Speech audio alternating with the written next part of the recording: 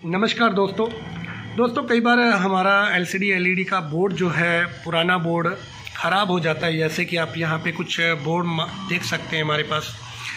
या फिर कई बार हमारा जो एलसीडी एलईडी है नॉर्मल होता है, जैसा कि आप लोग जानते हैं कि आजकल एंड्रॉयड एलईडी टीवी का ज़माना है और एंड्रॉयड एलईडी टीवी मार्केट में आया हुआ है।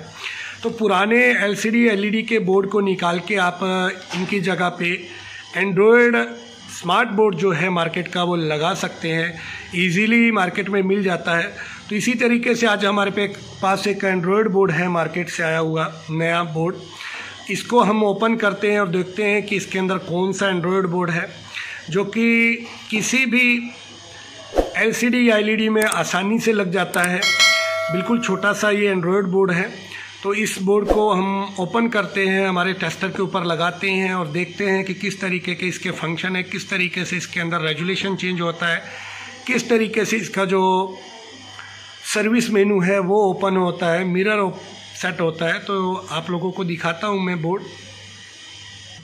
यहाँ पे दोस्तों मैंने बॉक्स को ओपन किया है तो यहाँ पे देख सकते हैं बोर्ड हमारे पास जो आज नया बोर्ड आया है, वो है N dot H three five two dot A eight V one तो ये वर्जन वन जो यहाँ पे देख सकते हैं, ये एक एंड्रॉयड बोर्ड है।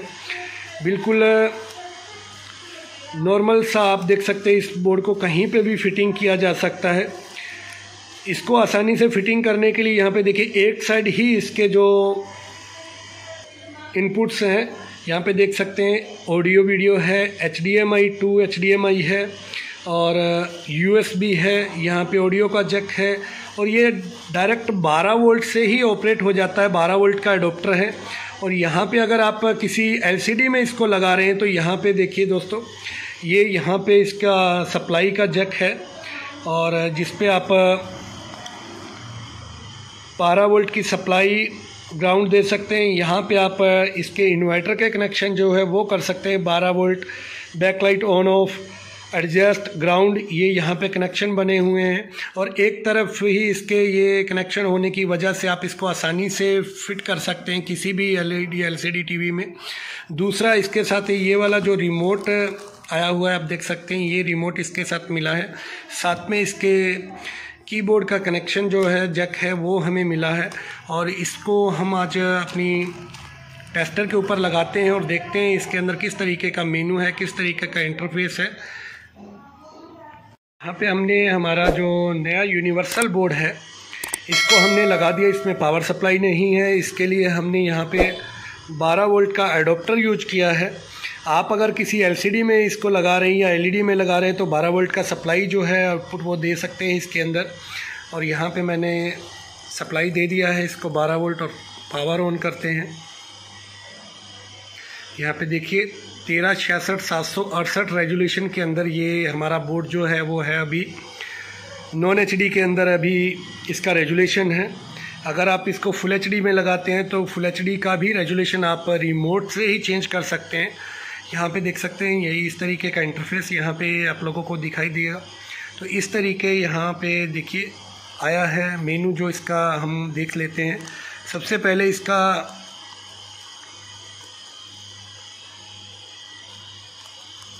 सिस्टम देखते हैं।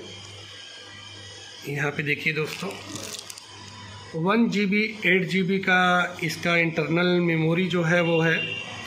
स्टोरेज एट जी बी और memory one G B Android version जो है, यहाँ पे देख सकते हैं, बारह एंड्रॉयड वर्जन है ये। और बाकी इसका प्रोसेसर नंबर यहाँ पे सारा कुछ दिया हुआ है। अब हम बैक जाते हैं। और इसका सर्विस मेनू ओपन करके देख लेते हैं सबसे पहले हम। हमको दबाना है सोर्स टू ज़ीरो एट यहाँ पे देख सकते हैं हमारा फैक्ट्री मेनू जो है सर्विस मेनू जिसे हम बोलते हैं, वो ओपन हो गया है। यहाँ पे सारे ऑप्शन हैं।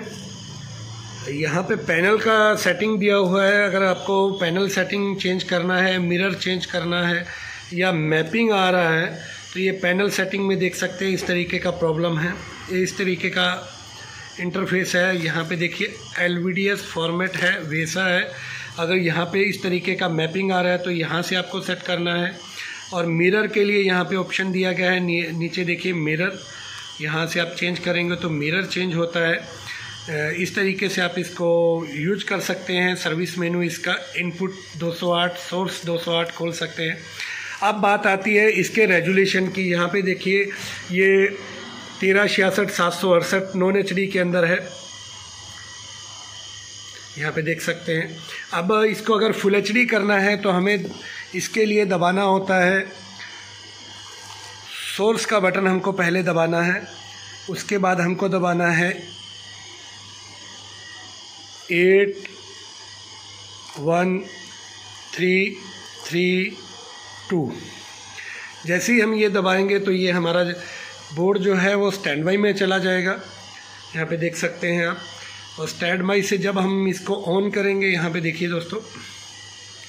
तो यहाँ पे देखिए 1920 1080 रेजुलेशन के अंदर ये आ जाएगा।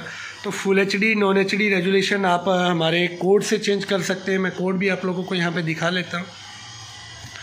यहाँ पे देखिए दोस्तों, ये कोड है इसका। एच डी के लिए है source eight one three three one full H D के लिए है source eight one three three two और सर्विस कोड जो है वो है सोर्स टू ज़ीरो एट ये इसका कोड है और इस तरीके से आप इस बोर्ड को इंस्टॉल कर सकते हैं। मिरर मैपिंग रेजुलेशन सारा आप रिमोट से ही इसका सेट कर सकते हैं। उम्मीद करता हूँ कि ये जानकारी आप लोगों को पसंद आएगी। वीडियो अच्छी लगे तो लाइक ज़रूर करिएगा। साथ में और अच्छी अच्छी वीडियोस देखने के लिए आप हमारे चैनल को सब्सक्राइब करें। धन्यवाद दोस्तों।